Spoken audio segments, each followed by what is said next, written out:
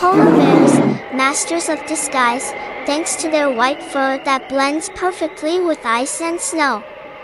They are clever hunters, using tactics like disguising themselves as moon shadows to ambush prey. They are excellent swimmers and can swim long distances in search of food. Fastidious creatures, they lick their fur to remove snow and ice.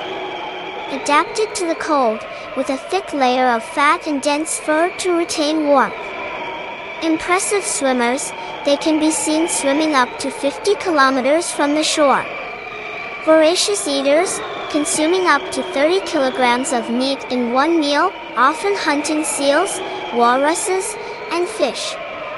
Newborn cubs are born blind and vulnerable, cared for by their mothers. It is crucial to preserve their habitats and protect them from threats.